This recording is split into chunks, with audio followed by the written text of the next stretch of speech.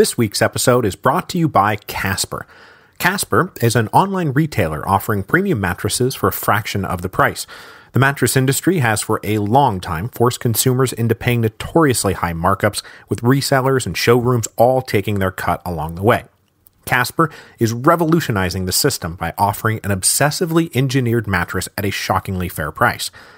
Made in America, the mattresses combine two technologies premium latex foam and memory foam that provide just the right sink and just the right bounce and come together for better nights and brighter days. And by cutting out all those middlemen, you can get a twin for just $500 or a king size for just $950. And if you've ever gone out mattress shopping, you know those are outstanding prices. And on top of all that, this is all risk free. You can try sleeping on a Casper for 100 days, and if for some crazy reason you don't like it, you can just return it and pay nothing. They say it's a painless process, but I would know because we love our Casper and had no reason to return it. And when the time comes for the new baby to move up to her big girl bed, she's going to get a Casper, just like her big brother. So if you want a better mattress and you want to pay a fair price, go to casper.com slash revolutions and use the promo code revolutions, which will get you $50 off any mattress you want. Terms and conditions apply. That again, casper.com slash revolutions, the promo code revolutions.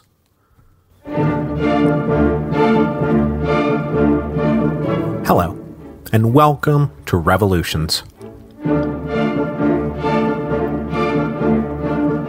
Episode 4.14 The Constitution of 1801. As the summer of 1800 drew to a close, Toussaint Louverture was at the pinnacle of his career. The dream he had been working towards since at least 1793 and very possibly since 1791 had finally come to pass. He had outmaneuvered all his native rivals, expelled any uppity French commissioners, and outlasted every foreign enemy. He was now the master of Saint Domingue, and soon enough he would be the master of all of Hispaniola. With this unrivaled power, he began to forge what has become known to history as the Louverturian state, which was the full embrace of that third option for the future of Saint Domingue that we talked about back in episode 4.9, the three races coexisting in an export based plantation economy and that coexistence would now be enforced by Toussaint's huge standing army. But the problem for Toussaint was that by any objective measure, this option was a crappy one for the black cultivators who formed the mass of the population. Yes, they now earned some money for their work and they weren't literally being worked to death, but in the main, their daily lives were no different than they had been before the revolution. The changes that had been brought about were often frustratingly superficial. Like, for example, Use of the whip, that most hated symbol of slavery, was now banned, and foremen used clubs instead. So at his moment of triumph, Toussaint Louverture began to lose the support of the black population.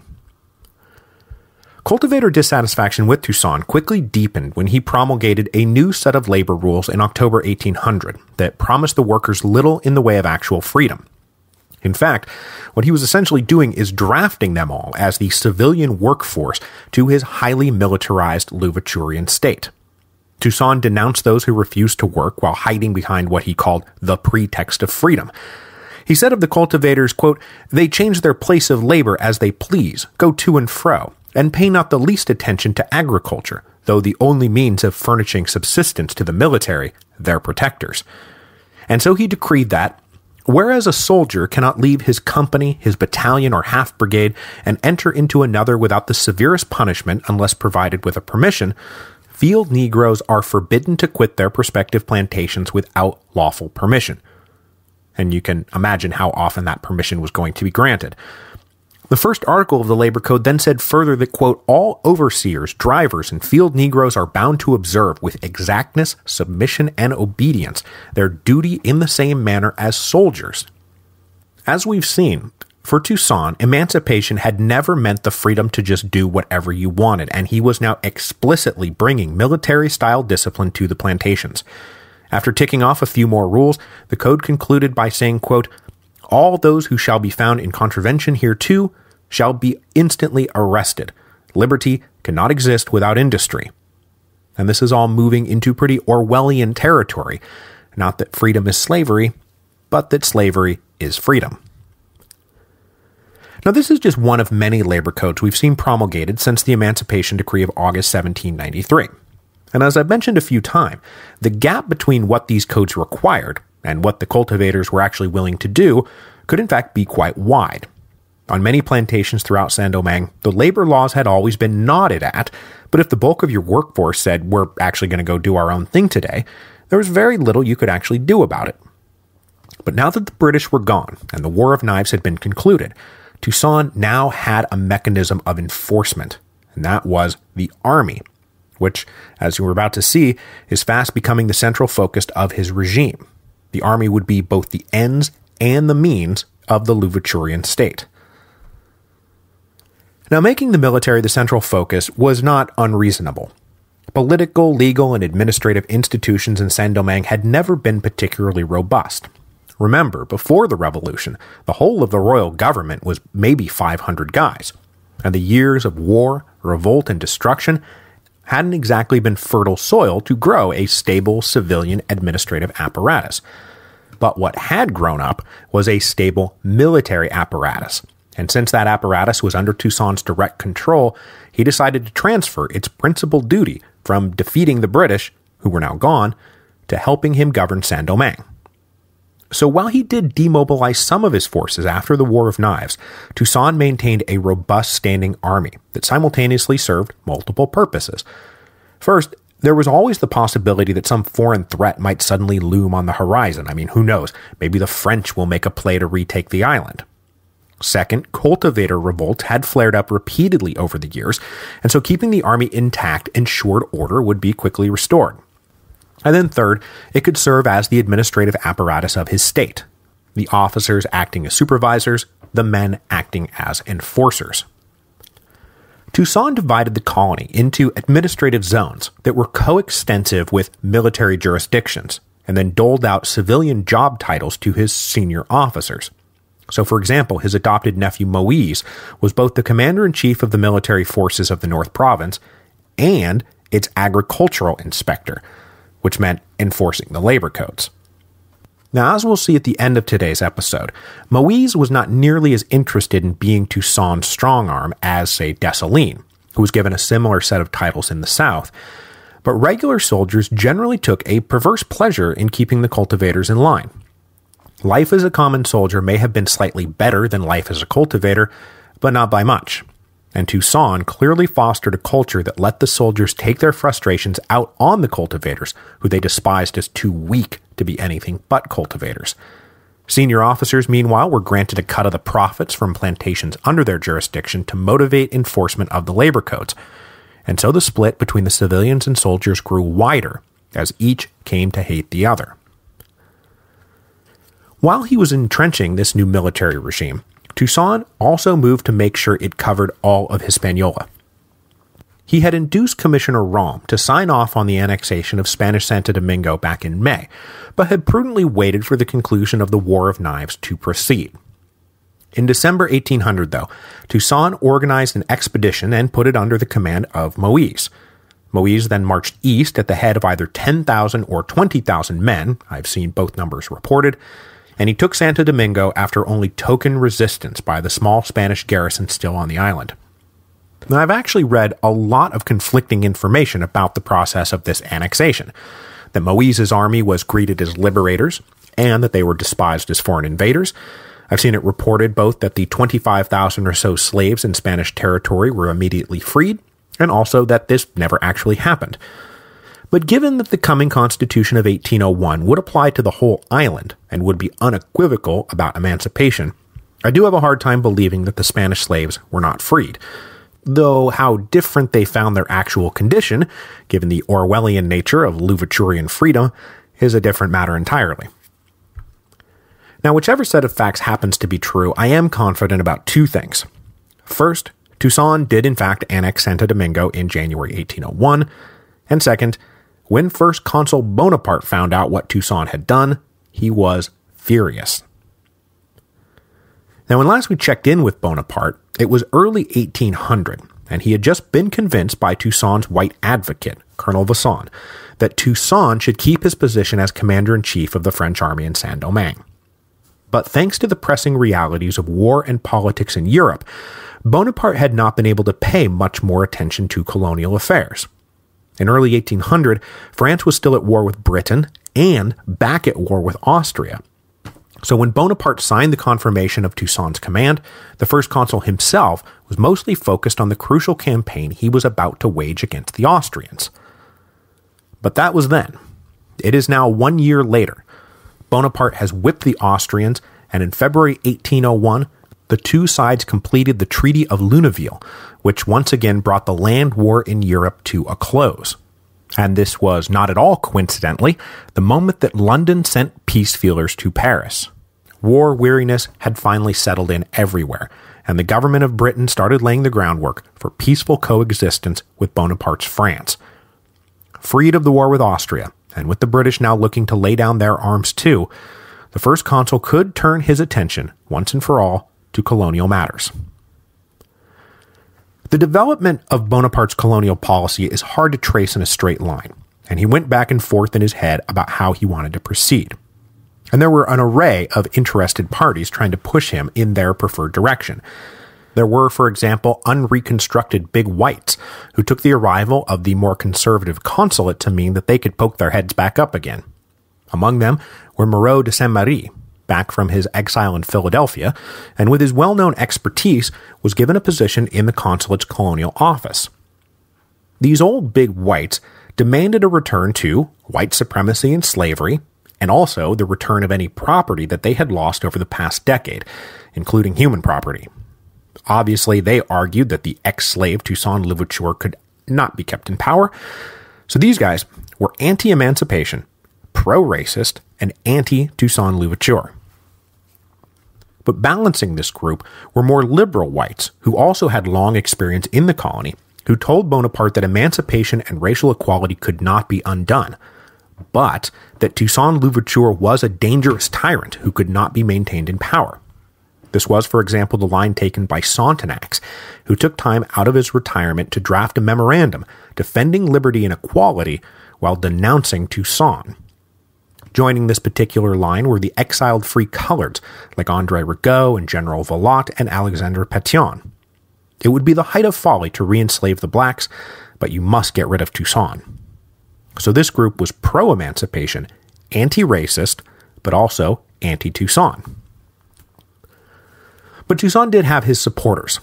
Presumably, Laveaux continued to stump for his old friend and comrade, and then amongst those arguing in Toussaint's favor may have been Josephine Bonaparte. Napoleon's wife was a Creole born into a wealthy planter family from Martinique who owned a plantation in Saint Domingue. After winning the War of Knives, Toussaint had taken over this plantation and now ran it at the state's expense, sending the profits back to Josephine. Now, traditionally, Josephine has been cast as the mouthpiece of the unreconstructed Big Whites, whispering in Napoleon's ear to reimpose slavery and white supremacy but her and Toussaint apparently exchanged mutually grateful letters.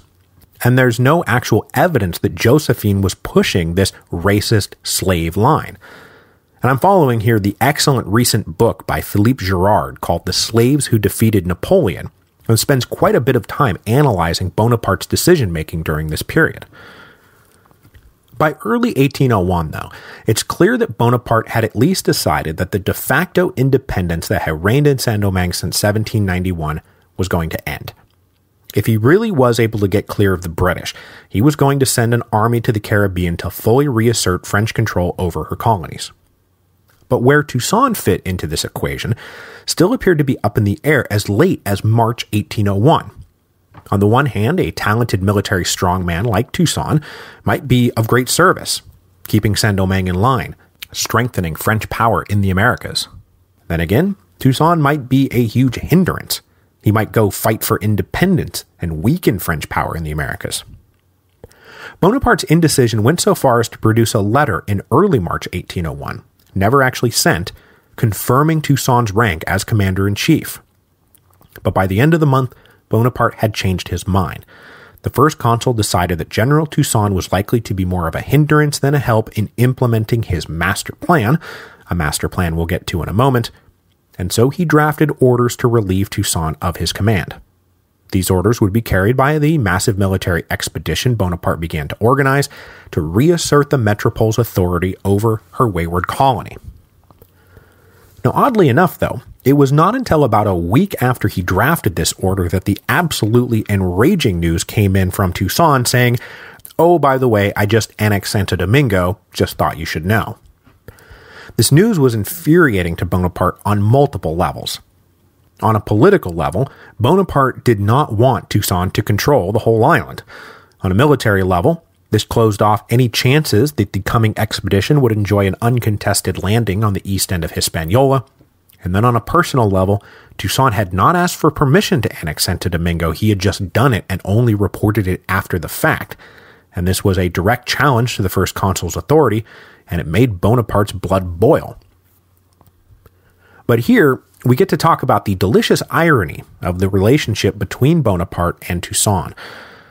We went through Bonaparte's early career in pretty good detail during the French Revolution episodes, and can you guys remember a single time that Bonaparte asked permission to do anything?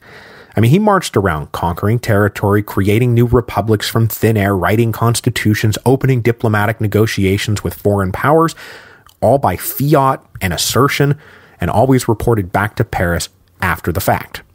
And now here he is faced with a subordinate general, because that's what Toussaint still is. Remember, he's just a general in the French army, doing exactly, and I mean exactly what Bonaparte had once done, and Bonaparte hates him for it.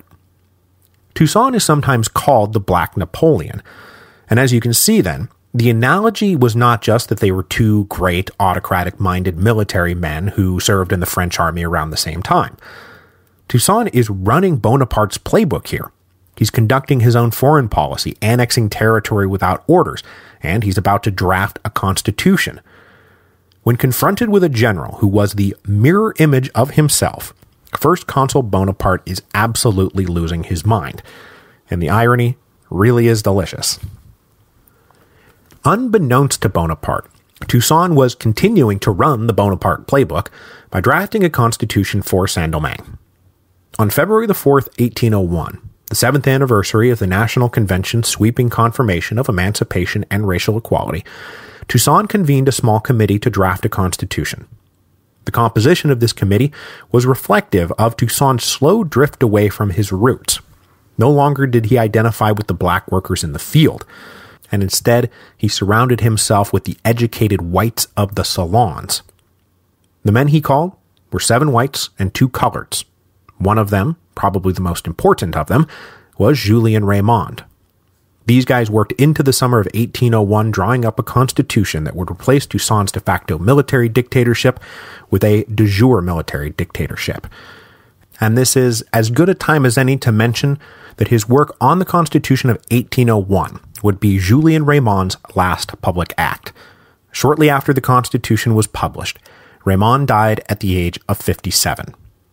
He was, without question, one of the two or three most important figures in the history of the Haitian Revolution, serving on both sides of the Atlantic, pushing for the equal rights of all men before the Declaration of the Rights of Man had even been conceived.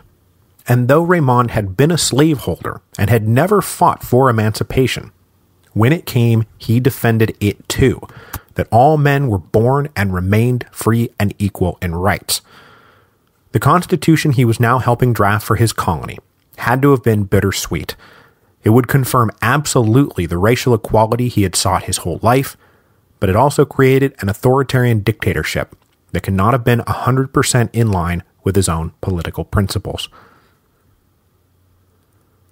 But though Toussaint Louverture was now transitioning into absolute military dictator, he was not the kind of a guy to just kick back in a fortress and live fat while his country went to hell. Toussaint had a restless, almost manic energy, and with so few actual political institutions able to govern the colony, it fell to him to manage and even micromanage everything. He and his secretaries had gotten their dictation system down to a refined art, and every day Toussaint composed a hundred or more letters and decrees and memos. He practically never slept in the same bed on consecutive nights, and he and his small cadre of secretaries kept constantly on the move, riding a hundred miles a day, no problem. Now, part of this was to stymie assassination attempts, and he made a regular habit of saying he was going to one place and then suddenly turning around and riding in the opposite direction. He also, for the record, avoided open windows and only ate food prepared by his personal cooks. But this was also about the need to be everywhere at once. So Toussaint was a dictator, and his vision for Saint Domingue was increasingly resented by the population. But I don't think that his embrace of harsh authoritarian plantation economics was just a cynical power play. I mean, it was, but I think he really did believe that it was the best thing for the colony, and he worked tirelessly to make it work for the colony. He was a man of action and energy, and he never stopped moving until the day that he was finally thrown into a dismal prison and left to die. And even then, I can't imagine that Toussaint Louverture ever stopped thinking and planning and dreaming. So, the Constitution that emerged in the summer of 1801, known to history as the Constitution of 1801, was a blueprint, as I've said, for a military dictatorship. But not an independent military dictatorship. And the very first article said that Saint Domingue was a part of the French Empire, and that this document merely fulfilled Article 91 of the Constitution of Year 8, which required special laws for the colonies. Clearly, though, the Constitution of 1801 was meant to preempt any attempt by France to use special laws to reverse all that had been achieved since 1791. So Toussaint's constitution stated, There can exist no slaves in this territory, where servitude is forever abolished, and all men are born, live and die free and French. And then it went on to say, every man, whatever his color, has access to all types of employment. But after enshrining these most radical of revolutionary doctrines, liberty and equality, the rest of the Constitution of 1801 was authoritarian and conservative. It said, for example, that as the colony is based on agriculture, it cannot permit the slightest interruption in agricultural work, and then proceeded to explicitly enshrine the labor code Toussaint had promulgated in October. As for the nature of the government itself, it said, quote, the Constitution designates as Governor Citizen Toussaint Louverture, General in Chief of the Army of Saint Domingue. In consideration of the important services this general has rendered to the colony in critical circumstances of the Revolution, and in accordance with the wishes of the grateful inhabitants, the reins are bestowed upon him for the rest of his glorious life. The powers that the governor would now enjoy for the rest of his glorious life were both wide and deep. He could hire and fire every military or government officer. He proposed and enforced all laws. A small assembly, called the Central Assembly, was created, but all it could do was approve or reject laws proposed by the governor. And since the assembly was elected by local administrators appointed by the governor, well, you can imagine how often they could be expected to resist his will. And in case there was any mistaking that the military was the source of political power, if the governor died in office, his power would, quote, pass provisionally into the hands of the highest ranking general. I mean, you can't really be more clear than that. And if you didn't like any of this, well, that was tough luck. The governor had the right to censor the press at his discretion, political clubs were forbidden, and the courts, like everything else, were under the governor's direct authority. And if he suspected you of sedition, you wouldn't even go to the regular courts. You would face a special military tribunal, also directly controlled by, you guessed it, the governor. When the Constitution emerged in June of 1801, Toussaint showed it to his friend and supporter, Colonel Vincent, who said, Yeah, okay, this is fine, but for God's sakes, don't publish it without approval from France. Whatever that first article says about being a part of the French Empire, if you unilaterally adopt this constitution, it will be taken as a declaration of independence and France will have to respond. But Toussaint decided to push on anyway. As long as France and Britain were at war and the British Navy controlled the Atlantic, he had nothing substantial to worry about from France. First Consul Bonaparte could stomp his feet all he wanted, but it would not create a ripple in the ocean that stood between them. So on July the 8th, 1801, Toussaint convened a massive public ceremony in Le Cap and announced that the new constitution was in effect, and he was officially governor for life. With the Constitution then published, he gave Colonel Vincent the unenviable task of carrying it back to Paris to present it to First Consul Bonaparte. So back to Europe went Colonel Vincent, who appears to have spent most of his time between 1799 and 1801 on a boat somewhere in the Atlantic. But Colonel Vincent need not have worried about Toussaint Louverture provoking the first consul, because by the time the Constitution was published, Bonaparte was already way ahead of them.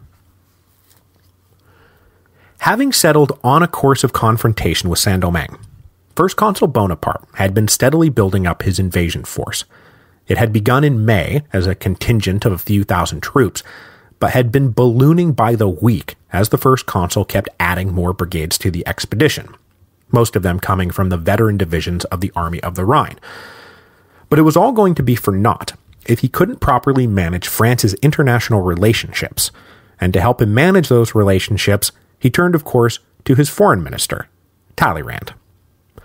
Bonaparte and Talleyrand were already well on their way to diplomatic victory by the summer of 1801, and it was really just the last few details that needed to be locked down with the three powers they needed to maneuver around the United States, Spain, and Britain. To take the United States first, as we discussed in episode 3.44, The War Feeds Itself, the French war machine was now premised on supplying and enriching itself from the territories they conquered and occupied. But this approach was not going to work in Saint Domingue. Everyone knew the colony was built on cash crops. The inhabitants couldn't feed or supply themselves, so it's not like a massive French army is going to be able to just live off the land. And since supply lines across the Atlantic were long and fraught with danger and delay, ensuring that the French army could buy from American suppliers was critical to the success of the mission. So, first, Bonaparte had to bring the Quasi War to an end. The negotiations that had begun in March 1800 to end the conflict finally concluded in September with the signing of the Convention of 1800. This convention returned the two countries to a state of peace, ending both their military and trade war, and I should add, making a dead letter of Toussaint's Clause. This was good news for the French consulate, and then a few months later they got even better news. Thomas Jefferson and his partisans had just captured both the White House and Congress. Since Jefferson was a Francophile slave owner, one might expect that his position towards the slave state of Saint Domingue would be quite a bit different than the Adams administration. And indeed it was, which was music to the ears of Bonaparte and Talleyrand, and not so much for Toussaint Louverture. Talleyrand then personally selected an agent to go feel Jefferson out. In their first meeting, Jefferson seemed to indicate that aiding the French expedition would be no problem at all. He referred to Saint Domingue as another Algiers, that is, a pirate state that was a threat to all civilized nations. He said that the Americans would be happy to keep French bellies full while starving out Toussaint Louverture. The agent reported all this back to Paris with enthusiastic delight, and Talleyrand and Bonaparte received it with enthusiastic delight. But unfortunately, Thomas Jefferson was a man who often said one thing and did another, as the French would soon find out. Aside from the Americans, there was also the Spanish, who held in their possession something that Bonaparte wanted very badly. So, just after concluding the treaty with the Americans that ended the Quasi War, the French concluded a secret treaty with the Spanish in October 1800 that fulfilled one of Bonaparte's key ambitions the reacquisition of the Louisiana Territory. The Louisiana Territory had, of course, originally been a French possession, part of their massive land claims in North America that stretched from the Gulf of Mexico to Canada. But when the French had gotten beat in the Seven Years' War, they ceded Canada to the British and Louisiana to the Spanish, and the Spanish had been holding it ever since. The Louisiana Territory was huge, as you hopefully remember from fifth grade history. It encompassed the whole western half of the Mississippi River watershed. And as we discussed way back in episode 2.14, the critical period, relations between the Spanish and the new United States over access to the Mississippi River was a major point of contention for the early American governments under heavy pressure from Bonaparte, the Spanish agreed to retrocede Louisiana to the French in exchange for some territory in Italy. The reacquisition of Louisiana was as critical to Bonaparte's long term ambitions in the Americas as securing supplies from the United States was to his short term ambitions, and for the same reasons. Saint Domingue and Guadeloupe and Martinique, and any other Caribbean island the French may happen to one day control, were best exploited as sugar and coffee factories. Directing them towards any other end was just silly. But as we saw back at the beginning of our series on the Haitian Revolution, actually supplying the sugar islands from France was arduous, expensive, and not particularly efficient. It was a system that was often unable to supply everything the colonies actually needed, which was one of those lines of tension we talked about in our original Web of Tension.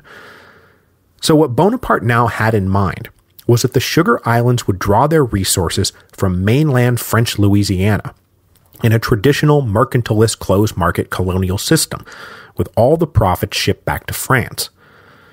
But even more than that, Bonaparte envisioned that one day the entire Gulf of Mexico would be the exclusive domain of the French Empire.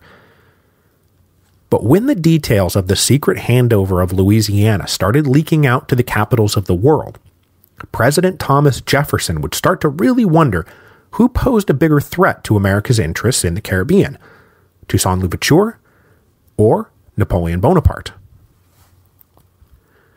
With the Spanish and Americans taken care of, Bonaparte and Talleyrand then turned back to the real key the British. If the British decided to stand in the way of Bonaparte's plan to retake Saint Domingue, well, I mean, the British Navy is awesome. You can't have the British standing in your way. Luckily, Westminster was sick of war, and so in October 1801, that is a year after the treaties had been signed with the Americans and Spanish, the British and French signed the preliminary articles of what would become the Treaty of Amiens. But just because peace was at hand, that didn't mean the French could expect the British to just sit back and watch a massive French armada sail across the Atlantic. So Bonaparte worked to get a firm commitment from the British that the massing French fleet would not be messed with. But the British were noncommittal. They agreed in principle that France had the right to access her colonies without interference, and also that an armed slave state in the Caribbean was in no one's interests. But, well, what if you're lying? What if this is all a ruse, and that at the last minute the French Armada sails right on by Saint Domingue and instead launches an invasion of Jamaica? This was not irrational paranoia, this was a very plausible threat. So the British dragged their feet on giving Bonaparte an answer. The foot dragging was especially frustrating for Bonaparte because one thing everyone now understood about sending European troops to the Caribbean was that these troops were going to be decimated by malaria and yellow fever their first summer in the colonies. So the expedition to Saint Domingue had to get to Saint Domingue and secure control of Saint Domingue before the summer of 1802. Otherwise, the whole thing would be a write off. So Bonaparte was really desperate to get the British Admiralty to say, okay, we won't mess with you. And he did two things to get them to say this one pretty obvious, the other pretty unconventional. The obvious one was to say, look, if my guys don't leave soon, I'm going to have to cancel the whole expedition. If I do that, I'll just go ahead and confirm General Toussaint, and you guys can deal with a quasi independent slave state armed to the teeth 50 miles from Jamaica. Now, the unconventional thing he did was to hand over a complete inventory of everything being made ready to sail every ship, every regiment, every gun, every barrel of flour he handed over the expedition's entire manifest and said, I would not be giving you this if my plan was to attack you, now would I? So can I please go reconquer my colony now? And the British said, okay. And then they held their breath. If there was any lingering doubt in Bonaparte's mind that pushing Toussaint out of power was the right thing to do, these were banished when Colonel Vincent showed up at the end of October with a copy of the Constitution of 1801 in hand. Vincent tried to defend what Toussaint had done, but Bonaparte took it exactly the way that Colonel Vincent expected that he would, as a declaration of independence. After a curt face to face meeting, Bonaparte dismissed Vincent, and Vincent would not return to Saint Domingue. Governor for life Toussaint Louverture was on his own. And with the international waters cleared and the army massed on the Atlantic coast, it was time for the French invasion fleet to set sail. We'll get into all the details of what will become known as the Leclerc expedition next week. But to end this week's show, we must return to Saint Domingue. Because just as the Constitution of 1801 was landing on Bonaparte's desk, Toussaint had to deal with his most troubling cultivator insurrection, both in terms of its size and its personal implications. On October the 21st, 1801, ominous movements in Le Cap raised alarm bells inside the headquarters of the general in charge of the city, a guy by the name of Henri Christophe, who just so happens to be the future emperor of the Kingdom of Haiti, but let's set that aside for now. Christophe was alerted to suspicious meetings of blacks in Le Cap, and when he rode out to investigate, he actually got shot at by a would be assassin. The assassin was captured and then persuaded to spill his guts that a widespread network of conspirators was planning an armed revolt, one that looked to rival the original slave rebellion of 1791. But Christophe had caught on just in the nick of time. With a list of names in hand, he then spent the rest of the night rounding up everyone believed to be connected to the plot, and by the time the sun rose, the revolt had been crushed before it had a chance to begin. But that was just the revolt set to go off in the city. Because out on the northern plains, where Boukman and Jeannot and Jean Francois and Biassou had raised the initial revolt 10 years earlier, the cultivators were rising up again. By October the 23rd, great mobs of armed blacks were marching through the plains, killing every white they could find. Hundreds of whites were massacred over the next few days. This sudden and very well coordinated uprising pointed to professional planning, and suspicion fell on General Moise, the commander in chief of the North Province. Moise had been growing visibly disenchanted with Toussaint's regime, and he was making no secret about it. Moise had resisted harsh implementation of the labor codes, and he told his adoptive uncle, quote, I will not be the executioner of my race. He also advocated breaking off small plots of land and selling them to junior officers and even common soldiers to move the colony away from huge plantations towards smaller self sufficiency. Moise's involvement in the revolt was further suspected because the uprising was launched just as Toussaint was beginning a three week inspection tour of the South, the first stop of which would be attending Dessalines' wedding in Saint Marc. And you had to be somebody who knew that the governor and his most ruthless general were going to be distracted to coordinate that kind of timing.